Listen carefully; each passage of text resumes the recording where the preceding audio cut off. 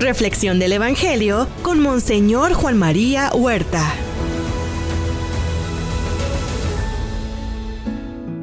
Bienvenidos a la Reflexión del Evangelio este día sábado 24 de julio. Gracias por estar en Guadalupe Radio, la mejor estación católica del año. Escuchemos. En aquel tiempo Jesús propuso esta otra parábola a la muchedumbre. El reino de los cielos se parece a un hombre que sembró buena semilla en su campo, pero mientras los trabajadores dormían, llegó un enemigo del dueño, sembró cizaña entre el trigo y se marchó. Cuando crecieron las plantas y se empezaba a formar la espiga, apareció también la cizaña. Entonces los trabajadores fueron a decirle al amo, Señor, ¿que no sembraste buena semilla en tu campo? ¿De dónde pues salió esta cizaña? El amo les respondió, De seguro lo hizo un enemigo mío. Ellos le dijeron, ¿quieres que vayamos a arrancarla? Pero él les contestó, No, no sea que al arrancar la cizaña arranquen también el trigo.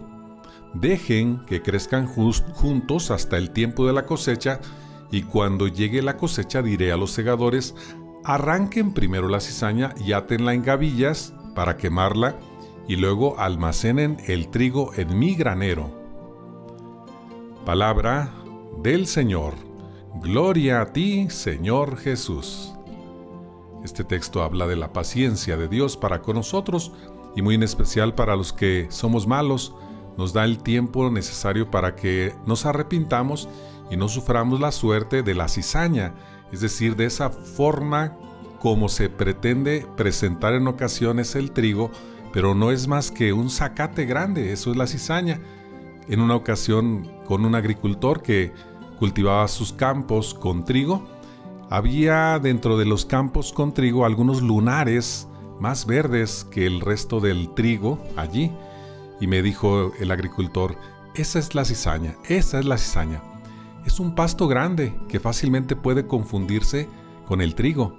Sin embargo, mientras que el trigo madura, se dora, se hace dorado, se seca para desprender luego los granos de trigo de las espigas, aquel zacate permanece. Por eso es más fácil ya en el tiempo de la cosecha distinguir la cizaña, arrancarla y arrojarla fuera. Por eso entonces aquí se pueden comprender algunos detalles de la parábola. En el crecimiento de las plantas podremos confundirnos algunos con otros. Sin embargo, en el momento de la cosecha se va a ver claro quién sí produjo fruto, como es el trigo, y quién no, a pesar de parecer trigo. Reflexión del Evangelio con Monseñor Juan María Huerta.